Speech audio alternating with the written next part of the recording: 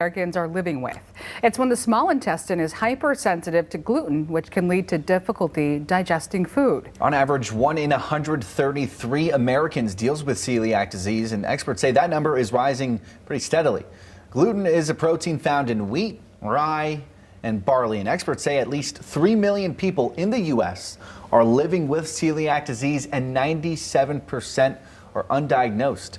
The study found rates are increasing by an average of almost 8% per year over the past several decades.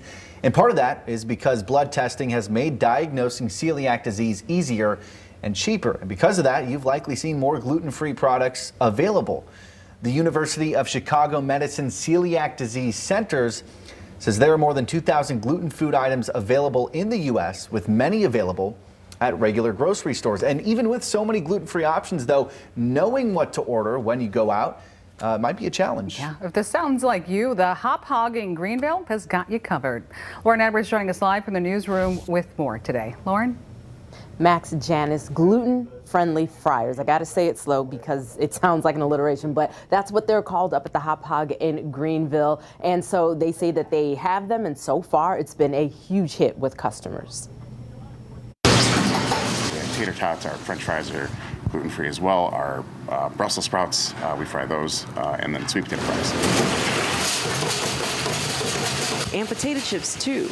All these dishes popular at the Hop Hog Backyard Brew Pub in Greenville, and they're all fried in gluten-friendly fryers. Initially, we went to one gluten-friendly fryer, um, and it was kind of difficult to execute uh, just from an operational perspective. So I said, let's just do two.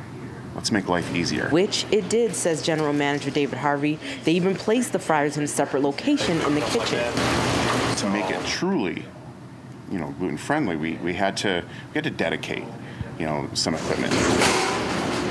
Harvey says the idea to purchase and install gluten-free fryers began months ago, but then weeks ago they posted it on social media to see how customers would feel about them. That one post, he says, went viral response has been amazing, honestly. Um, we, we just put out a simple post on Facebook, um, and something like 27,000 people uh, viewed it, and I couldn't even tell you how many comments. Harvey says so far customers love it. Because a lot of people don't have that opportunity to go out and eat anymore uh, because you know they've discovered that they have celiac or just gluten intolerances as well. A gluten intolerance can lead to severe gut and stomach problems. So their other foods like chicken, brisket, pulled pork are all by nature gluten free. Harvey says customers are grateful and their satisfaction and safety is Hop Hog's goal. A big win again uh, for for anyone that you know really doesn't have the opportunity to eat out as much as they might like.